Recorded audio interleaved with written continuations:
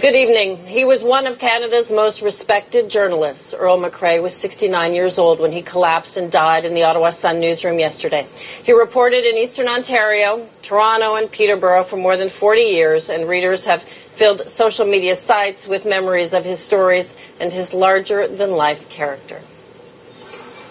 McRae wasn't only an award-winning columnist. He was author of two books and helped establish the Elvis Sighting Society, a charity that helps people in Ottawa who are in need. Colleagues say his death leaves a gap in Ottawa journalism that will be impossible to fill.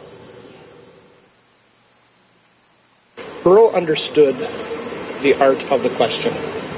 He was inquisitive, and I think that's at the root of all good journalism. He asked the right questions and he drew out the story that perhaps others didn't see. He knew how to get people to open up. And that's the secret to good storytelling, is letting people tell their own stories. He's the guy who made it. He'll be missed for sure. McRae leaves behind five children and three grandchildren. The date and location of his funeral have not been announced. Tonight, they laughed they cried. I lost a friend. I lost a brother. I lost a hero. Remembering the late, great Earl McRae. After decades of dictatorship, what now for Libya? And zombies on the move. What's the attraction of joining the undead and hitting the streets of the capital?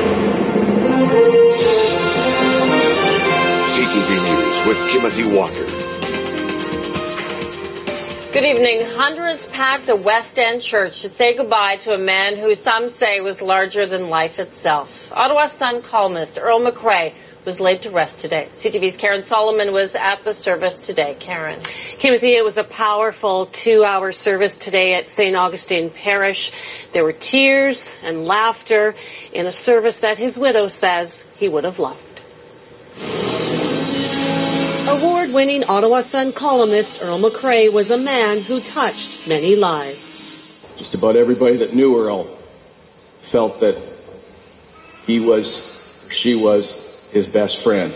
An iconic figure and uh, going to be greatly missed by me and uh, everybody in the community.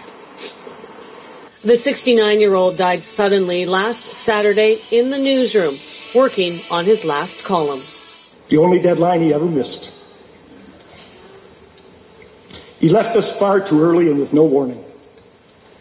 But I think we are comforted by the knowledge that he died doing exactly what he was put on this earth to do. Colleagues, politicians, friends, and family bid a fond farewell to a master storyteller, a man with a big heart and an enormous sense of humor. A service laced with tears, laughter, and memories of the man who was Earl McRae. He used to ask bizarre questions to poor, unsuspecting drive-through attendants such as, are your chickens freshly dead?